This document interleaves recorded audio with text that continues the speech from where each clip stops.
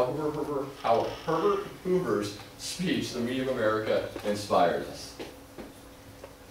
Okay, I'd like to talk about like why and how the speaker inspired us.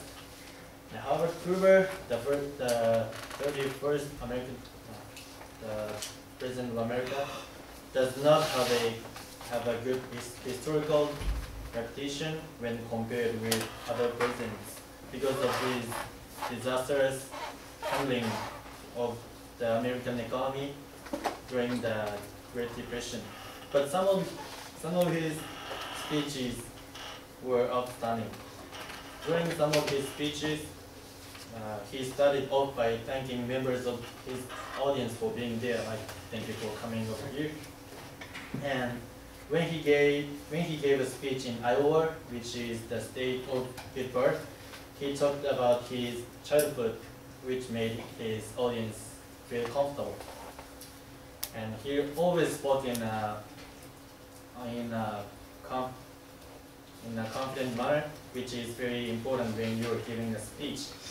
And uh, when I give a speech, I really got nervous, like like informative speech and persuasive speech, and even right now, I get so nervous. And also, Hoover's method of giving speech was to pause frequently, which is a very appropriate and effective method of giving a speech. He gave, he gave his audience enough time to think more deeply what he was talking about.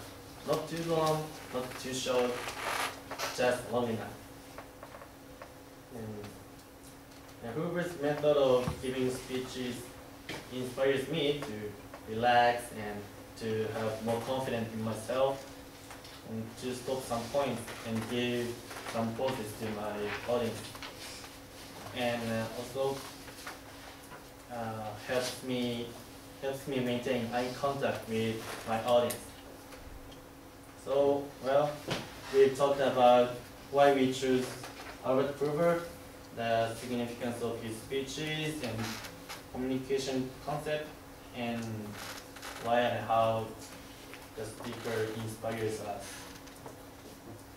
Thank you.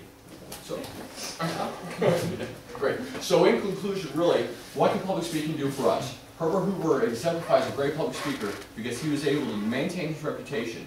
Even though through presidency, he was the known cause of the Great Depression, really nobody remembers him for that. They remember him for his humanitarian skills, but being able to step up to the plate and speak fluently and eloquently.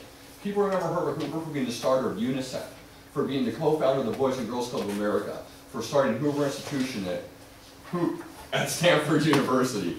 I mean, so really that's how important public speaking is to us. Because regardless of what's going on behind us, what our actions include, through great public speaking, we can overcome them. We can put on the face and encourage people and also fool people to believe that we do great acts which we aren't really doing. Thank you.